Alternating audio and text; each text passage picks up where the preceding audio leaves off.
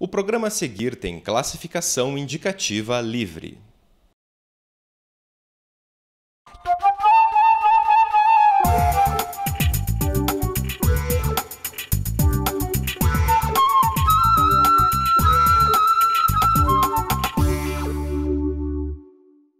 Convidado de hoje é artista plástico, cineasta e desenhista. O paulista Ale Abreu encontrou no cinema uma forma de expressar suas ideias. O mais recente longa é O Menino e o Mundo, que foi indicado ao Oscar como melhor animação. Seja bem-vindo, Ale Abreu. Ale, muito obrigada por você ter aceitado o nosso convite. É um prazer te receber aqui no Papo no Café. Legal. Obrigada. Queria começar falando um pouquinho da sua multicarreira, vamos assim dizer, porque além de cineasta, você é pintor também, já ilustrou para vários livros, né? Como que começou tudo isso? Olha, gente fala assim, multicarreira, né? eu, eu, eu, eu sempre considerei toda essa mistura, assim, uma coisa só. Assim, tudo que eu sempre fiz foi se misturando de alguma forma, né? Eu não, eu não sei precisar muito bem, assim, até onde termina o livro, começa o audiovisual, né, a ilustração, o audiovisual, a pintura. É, então, é sempre uma coisa meio que amparou a outra, sabe? Você pega, por exemplo, O Menino e o Mundo, ele um filme, um audiovisual, mas que tem uma carga tão forte do, do, da composição pictórica, né, assim, da, das artes plásticas, né? Ele, ele bebe muito nessa fonte da da imagem, da força da imagem, né? apesar de ter a narrativa do cinema, né? de ter a narrativa, né? é uma coisa que, que já não, não acontece na pintura, né? por exemplo, na pintura mais contemporânea, mas é, a, a, própria ilustração, é, o fato de ter ilustrado tantos livros me, me, me possibilitou uma pesquisa imensa de, de, de, de de linguagens, de técnicas, né? E coisas que eu acabei usando também no, no, no, nos filmes que fiz, né? É, na verdade, de uma forma ou outra, está tudo meio interligado e é parte do que você é, né? Acho que tem, a arte é, é um pouco disso, tem né? um pouco a ver com o olhar, né? Acho que é um amadurecimento, um entendimento do olhar, é uma busca da gente, da gente, né? É, tudo isso que a gente faz, a arte é um espelho, né? do, do que a gente é né? Eu acho que a, a, busca é essa, é mais interior do que aqui na relação com... Claro, ela se manifesta nas coisas, né? Aí isso independe de quais coisas são essas, né? Se é um, se é um texto, se é uma pintura, um... Entendi. E quando você se descobriu artista? Já na infância você já desenhava, já tinha alguma relação com artes? Como, quando que foi que você se descobriu artista? Olha, eu, eu eu sempre, sempre desenhei. Eu tenho memórias assim muito, quase assim as minhas primeiras memórias de, da minha vida, assim da infância, são memórias hum, que têm alguma relação com o desenho, né? Eu tenho uma, uma memória, por exemplo, de quando a minha mãe me ensinou a, a misturar as cores primárias para encontrar secundárias, né? Quer dizer, essa é uma das minhas, sei lá, das minhas dez memórias da infância, assim, daquela memórias mais antigas que, que a gente Mas a sua mãe pintava? Não, não. não. Eu tinha uma aquarela lá, ela, ela gostava muito de fazer as coisas de trabalhos manuais tal. Ela desenhava, né, também, assim. É, e... Então, assim, é uma coisa que sempre teve permeando a minha, a minha vida. Um, o que acontece, eu acho, é que, as, de maneira geral, as, as crianças elas chega um momento em que o verbal começa a ficar mais forte, né? Então, assim, é, é, há uma troca de linguagem, né, de expressão, em que a palavra vai substituindo a imagem, né, o desenho, né? Porque a criança até então, nos primeiros anos de, de vida, é toda uma, uma forma de se expressar muito rica com o desenho. Algumas crianças, não, assim, não se sabe o motivo, elas meio que essa coisa do, do, do, da imagem sobrevive, né? Com uma força, assim, a ponto de correr em paralelo, de não parar de desenhar, né? Hum, eu não acho que eu nasci desenhista, assim, eu me tornei desenhista, né? Porque nunca parei de desenhar, né? Então, assim, a coisa você vai amadurecendo. Eu acho que esse processo de amadurecimento ele é muito sofrido porque é, são anos é, desenhando e você termina um trabalho e você não se vê no trabalho, é, é, é você acha que está muito próximo ainda, do, de, parece uma cópia de um outro um estilo de alguém. é, e é, é, muitas vezes é uma matéria que é tão maleável, né? Você pegar um giz de cera, um lápis, mas por um outro lado é tão difícil é, é, é, criar uma forma e chegar numa, numa, numa composição, numa coisa que te que te represente, né? Que seja uma, uma expressão mais próxima de algo assim genuíno, né? É verdadeiro. então eu, eu sei que o que o menino e o mundo né? Você Olha, conseguiu tenho... chegar? Você está falando dessa expressão é, genuína. Eu, você acha eu, que no Menino eu, Mundo você conseguiu? Que, eu não sei, mas o, o menino, é, é, pela primeira vez na, na, na minha vida, olha, eu tenho... Quando eu terminei o menino, eu tinha 43 anos, hoje eu tenho 45. Naquele momento, eu lembro com uma força, assim, de que foi... Né, houve uma força muito grande ali de que, pela primeira vez, eu me senti feliz com que com algo que eu, que eu havia feito, né? Eu não, eu não senti nunca senti nada igual com, com, nenhum outro trabalho, seja de ilustração, de pintura. Então, assim, eu acredito que é, esse trabalho do, do, artista é um trabalho de uma vida, né? Em que uma coisa leva a outra, né? A tua história é muito importante, né?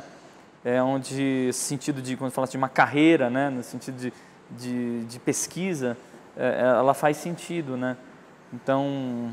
Você chegou a passar por cursos de artes? Como que foi muito, a sua formação? É, é, assim, eu tive, eu sou formado em comunicação social, é, mas temos de desenho, assim, eu não, não, nunca fui, nunca tive uma escola de, de, de, desenho, de, eu sou um autodidata mesmo, né? Que bacana, que bacana. E aí, bom, não posso deixar de te perguntar então do Menino e o Mundo, né?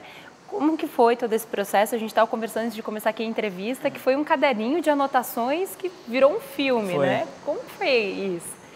Foi um achado, foi uma, uma surpresa como esse menino entrou na minha vida, porque é um personagem que surgiu como nenhum outro que eu, que eu criei até hoje.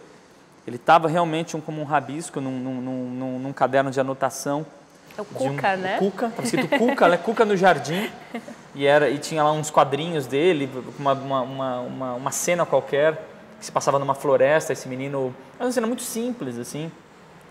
E era um caderno de anotação de um outro projeto que, que se chamava Canto Latino, que era um animadoc, era um prêmio que eu havia uh, recebido para fazer um, um projeto, desenvolver um projeto de um, de um documentário em animação sobre, sobre a formação da América Latina, era um olhar né, através do, do, de imagem, de desenho, de música principalmente, uma vez que, que eu ia, essa pesquisa ela ia aprofundar na, nas músicas de protesto dos anos 70, 60, né, e são um período muito rico, né, é, musicalmente falando, e que, e que criou essa coisa de, de, de artistas tão talentosos, né, é, cantando é, a sua história, né, e, e, a música como uma palavra é, de levar a história, né, um momento ali em que a gente não, não, né, não existia internet, quer dizer, é uma, uma forma de propagar uma, uma palavra importante.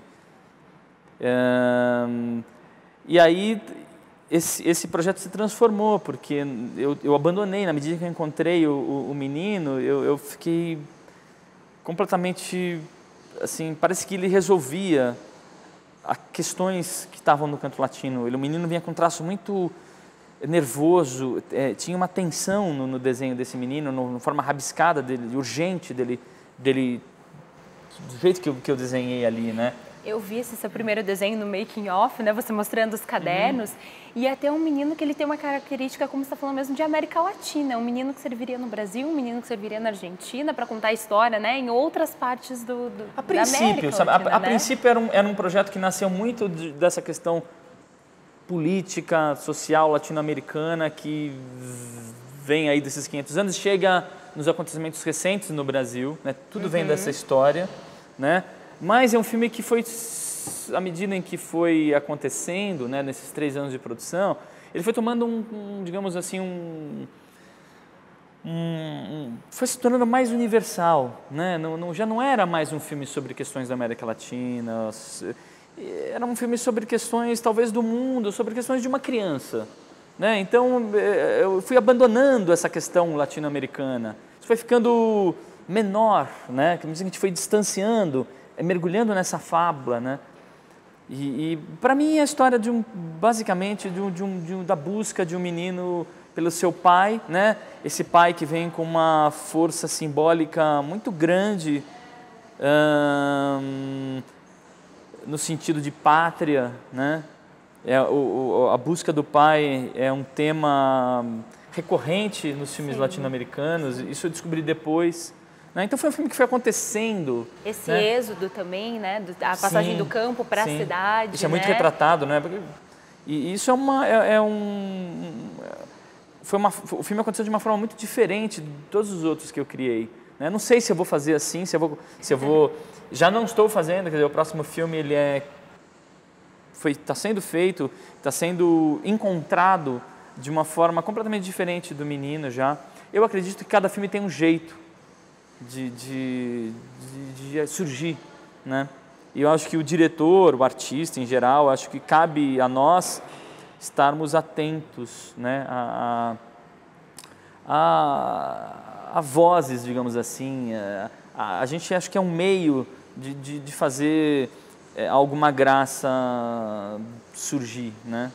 Então o menino veio assim, muito Muito bacana. Estava vendo também no making off, né, a parte de quando vocês colocaram daí a música, a voz do menino. Inclusive quem faz a voz do menino é uma criança de verdade, um É. menino e uma graça, né? Como que foi trabalhar com ele? Como que foi daí para chegar nessa nessas vozes? Não, foi muito. E o português ao contrário, né? Também queria entender isso. As vozes foram. Foi um processo muito tranquilo, muito natural. Eu acho que os atores pegaram muito bem o espírito do- dos personagens. Acho que pelo fato de ser um trabalho mais realista, sabe? Apesar de a gente ter um, um- um- ser uma animação, eh, a gente queria ali um, um- tratamento ahn, de personagens assim mais realista, né? Acho que tá para dar esse contraponto, né? É um filme que, que, que ele é tão assim eh, pouco realista na sua forma, mas ele é tão realista no seu conteúdo. e- então a gente a gente achou que o que essa que os atores trabalhando de uma forma mais realista iria encaixar. E foi um processo muito tranquilo mesmo porque eram poucas vozes pou- poucos diálogos no filme um filme praticamente sem diálogos né? É, e, e essa questão do filme nascer sem diálogos eu acho que foi um pouco por conta de um exercício de criação que foi feito muito a partir do desenho. Um filme, como eu te disse, um filme que nasceu não do texto, né, não da palavra. Ele não teve muita intermediação da palavra. Ele não, ele não foi sendo criado com uma explicação, com uma certa um certo amparo da razão, assim, né? Claro que tem a razão, mas é, a razão ela só delimita um espaço ali onde você vai se lançar para fazer algum tipo de poesia surgir daquela relação, daquelas informações que a gente encontra no meio do caminho, né? Então acho que o, que o menino foi, foi esse jeito de se construir. É um jeito muito intuitivo e, e, e, e- deixando a- a- a- as mãos falarem, né? as mãos falarem. Então eh, os desenhos iam saindo e, e na medida em que eu vi ali uma, um personagem voando no vento, claro, entrava um pouco a razão para tentar entender o que, que é isso daqui, onde é que eu conecto esta peça nesse grande quebra-cabeça.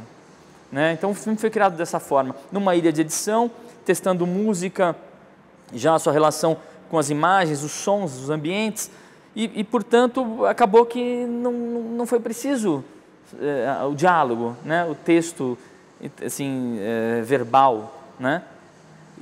O texto ficou resolvido ali com a força da, da imagem. É verdade. Uma imagem fala mais que mil palavras, né? É, Ficou bem claro isso, né, dentro do filme. Eu vi que o Naná Vasconcelos também foi a última participação dele, É. né, dentro de um filme. Como foi para vocês receberem ele? Até porque é, é, essa forma como vocês trilharam, né, a questão dos barulhos e tal, é bem característico do Naná, né, da percussão, das É. batidas, né? É, eu, eu, eu- assim que eu comecei a fazer o menino, eu já tinha essa ideia de o Naná já, a sonoridade do Naná já permeava a criação, né? Aham. Porque à medida que você está entrando num universo assim tão lírico, né, de- desse menino, sabe, eu, essa- tem tudo a ver com essa criação sonora do Naná Vasconcelos. Eu acho que é um pouco o universo que o Naná andou mergulhado, né?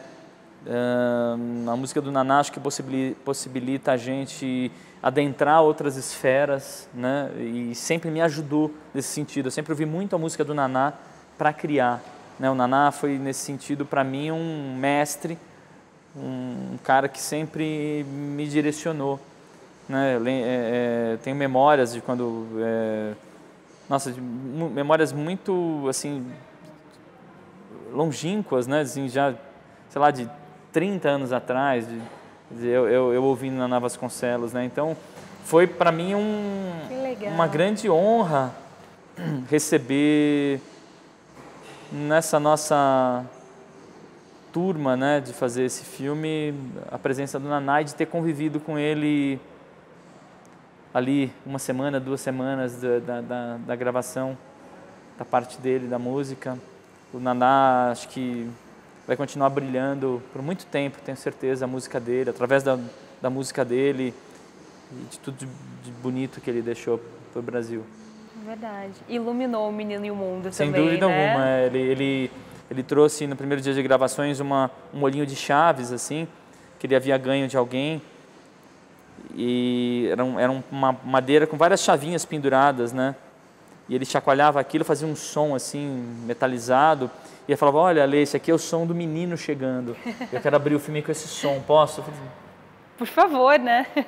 que bacana. E aí foi, foi essa construção, né? De, também um processo muito aberto, a gente deixou, assim, tinha lá, claro, a gente sabia onde mais ou menos ele queria, onde a gente queria que o Naná entrasse, né, mas ele teve, assim, toda a liberdade para para colocar a voz dele e, e um cara muito que soube muito deixar o espaço porque ele sabia que vinham outros músicos ali, né?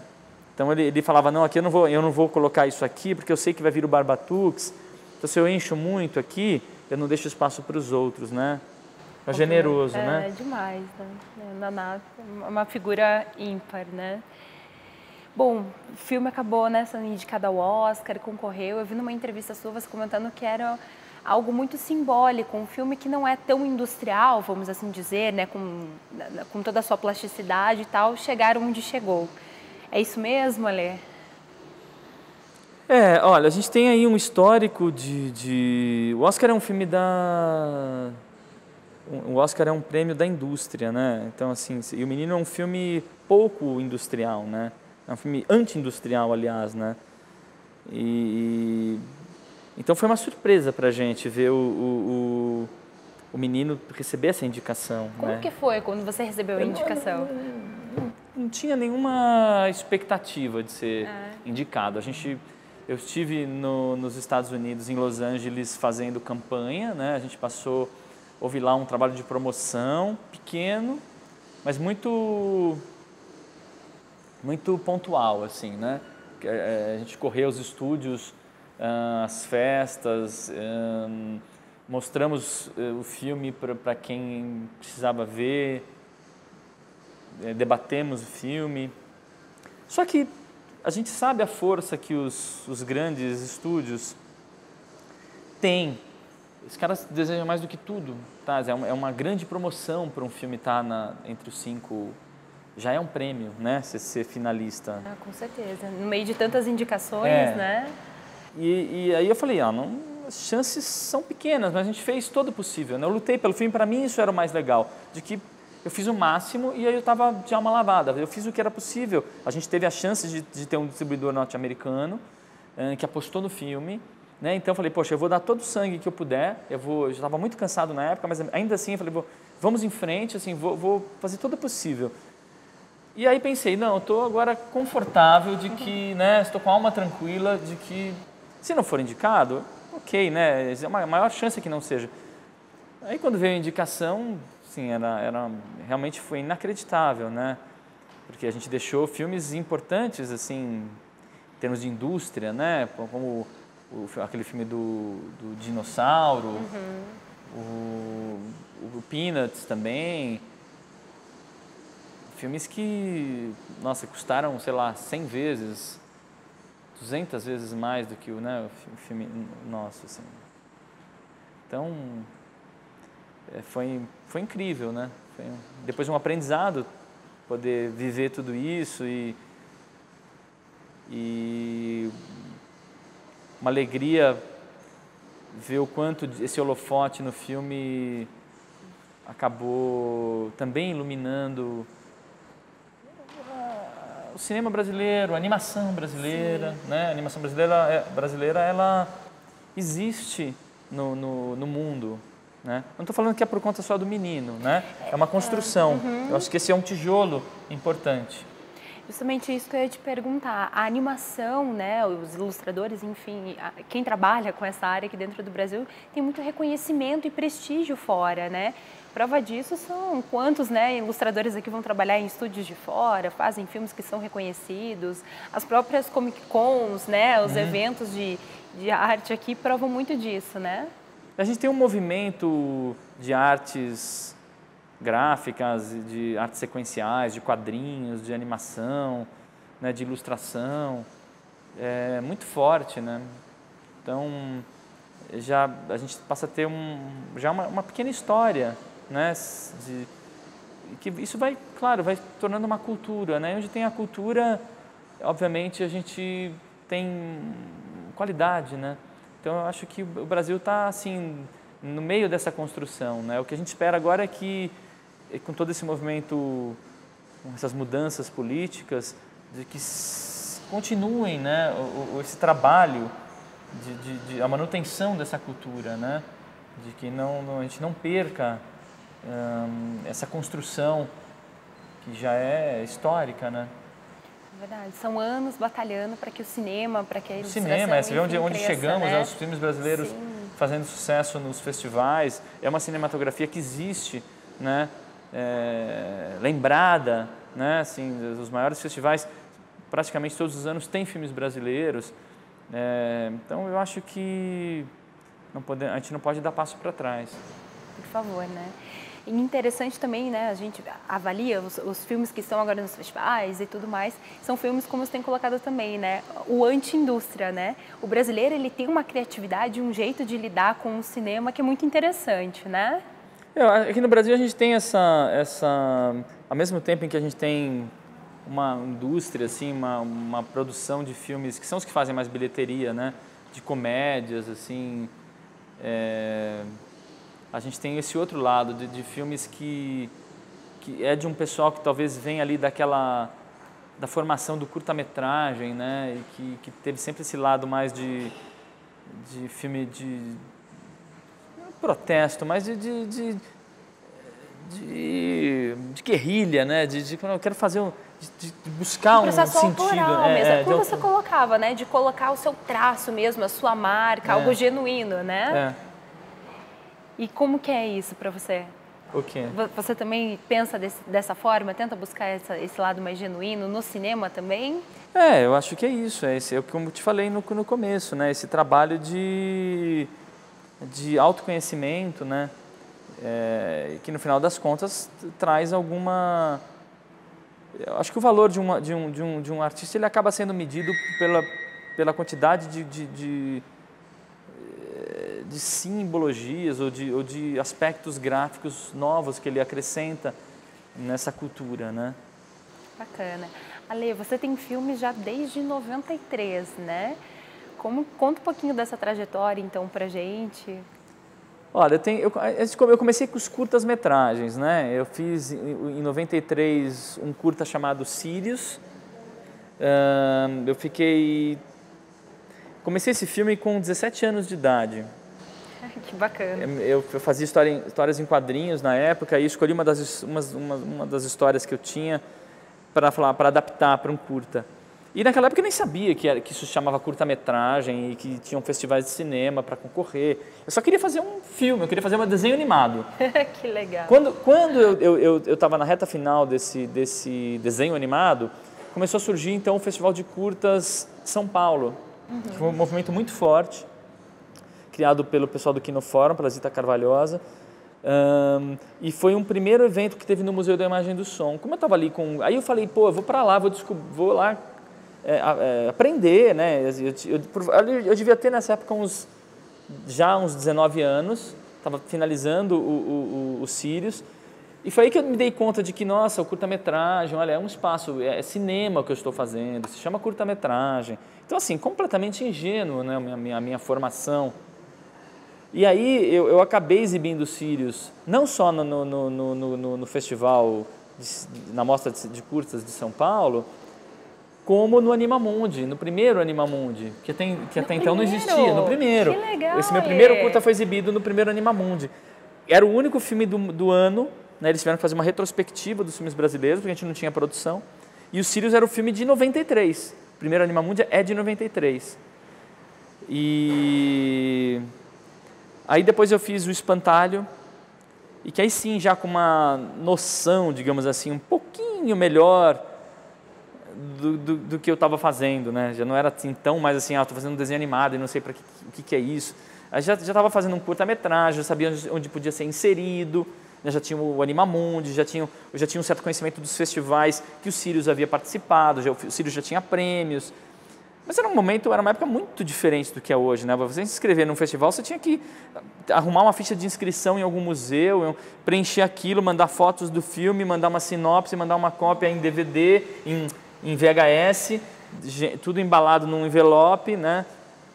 É, e aí, dali um tempo, vinha a resposta por, por, por carta dizendo que o filme havia sido selecionado. Pra, você tinha um prazo para mandar de volta a cópia em 35 para lá. Imagina isso, né? Hoje em dia, pela internet, faz inscrição, dali uma semana você sabe se foi, manda no e-transfer acabou. É tudo muito rápido. Mas, e aí o, o, espantalho acabou que pegou essa passagem do, da, do computador, né? assim, ele, ele, ele acompanhou esse movimento de tecnologia que veio surgindo com muita força, né? então os desenhos animados passaram então a não ser mais uh, produzidos com uso de acetatos, que era aquela película transparente pintada no verso, um trabalho uhum. danado. E produzidos digitalmente, né? Então, o espantalho foi, quando eu cheguei no, na reta final dele, eu já tinha ali todos os desenhos prontos e entrou a tecnologia. Eu aproveitei, escaneei tudo aquilo e fiz a colorização digital. Uh, na sequência, eu, eu falei, ah, não faz mais sentido fazer curta e ficar quatro anos trabalhando, eu estou afim de fazer um longa, se é para ser maluco, vamos... E naquela época não tinha incentivos fiscais, não tinham prêmios que a gente tem hoje, né? e nem editais específicos para animação. E eu fui com a cara e com a coragem, assim, escrevi um roteiro, chamei depois uma, um, roteiristas que me ajudaram, a Sabina Anzuateg, o Daniel Chaya, e que e o Gustavo Kurlat depois, que também fez a trilha sonora, que ajudou a gente com uma revisão desse roteiro, e escrevemos o roteiro do Garoto Cósmico. Dali sete anos o Garoto Cósmico estava pronto. Então assim, eu passei praticamente 15 anos da minha vida fazendo esses três filmes e que eu acho que eles foram uma primeira fase, uma fase hum, talvez de escola, eu considero esses três filmes um, um pouco a, a, minha escola. Um, no final do Garoto Cósmico, eu já estava meio que deixando para trás eh, esse universo que permeia esses três filmes, aquele estilo de desenho, aquele estilo de, de, de, de grafismo, um, e estava encontrando uma outra forma de, trabalhar. E foi aí que, vem, que veio o, o, o curta passo que, que, foi feito assim, mais ou menos como menino. Eu tinha ali umas anotações, uns, um pássaro se movimentando, indo para lá, indo para cá, numa trechos de animação que eu tinha feito, de estudo. E a hora que a gente colocou isso tudo na ilha de edição, a gente percebeu que ali tinha um curta. O passo surgiu assim, meio que espontaneamente também. Uh, na sequência do passo, eu comecei então a fazer uh, esse prêmio que eu ganhei, que me deu a possibilidade de fazer a pesquisa do canto latino, que viria a ser o Menino uhum. Mundo. Eu passei um ano fazendo uh, estudos para o canto latino, uhum. viajando, fazendo mochilão, pesquisando as... Viajei por toda a América Latina, fiz é, pesquisas de música, é, li muito sobre, sobre, é, sobre geopolítica, principalmente. E foi então no final desse processo eu já tinha encontrado o menino e, e falar, não, vou começar a fazer. Mas aí ganhei um prêmio da, do Anima TV para desenvolver o piloto da Vivi Viravento, que é uma série que hoje está em produção. Tá, mas esse, essa, esse piloto foi feito em 2009. Então, depois do piloto, terminado o piloto, eu falei, agora eu vou, eu vou botar toda a minha energia neste Cuca no Jardim, né? Que é o, o Cuca no Jardim era o filme que saiu a partir daquele menino que eu encontrei no, no, nos, nas anotações do Canto Latino. O Canto Latino nunca mais foi realizado, ficou guardado. Mas a ideia de livro, de, de, o Canto Latino era uma história de um viajante num caderno de, de, de anotações. Esta ideia acabou servindo para o Vivi Viravento, que é a história de uma menina que viaja nos cadernos de anotações dela. Essa série está em produção, vai ser exibida no, no Discovery Kids e na ah, TV Cultura no ano que vem. Está é, tá sendo dirigida pela Priscila Kellen, uhum. uh, que foi assistente de direção do, do Menino e o Mundo. Uhum. Nesse momento, uh, a série do Menino e o Mundo está em desenvolvimento na França, uh, pela Folie Varry, pelo Didier Brunet, que é o produtor do, do Kirikou, do, do Bicicletas de Belleville, e de, é um, um produtor muito, muito importante da, da, da França. Um, e paralelamente a tudo isso, eu estou escrevendo o roteiro do monólogo, que é um que seria o meu quarto longa-metragem, e trabalhando na pré-produção dos Viajantes do Bosque Encantado, que é o meu terceiro longa, que é o que eu estou colocando mais energia agora. Seja... É o que vem aí. Viajantes do Bosque Encantado é o meu próximo projeto. Que bacana. Ou seja, não para. Não dá para parar. É, é, é, até que é, todas as vezes que eu termino um projeto, eu falo assim, ah, não, agora deu, né? Porque te, te, consome tanto, assim. É, assim, todas as vezes que eu terminei um projeto, assim, de quatro, cinco anos, a sensação que dá é que, poxa, onde é que eu estive todo esse tempo? Parece que o tempo não existiu e de que eu perdi esse tempo de vida. É, e aí eu me olho assim no espelho e falo, nossa, estou um pouco mais velho, mas o que houve, né? Assim, parece que eu fui tomado, né? E, e não, não, não, usei aquele tempo, que eu doei isso para alguma coisa. É, é, uma coisa assim é, perigosa. Tá certo. Ale, muito obrigada, viu, por você ter participado aqui com a gente. Muito sucesso aí na sua trajetória e que seus próximos filmes façam tanto sucesso quanto O Menino e o Mundo, Oxalá. viu? Obrigada. Obrigada.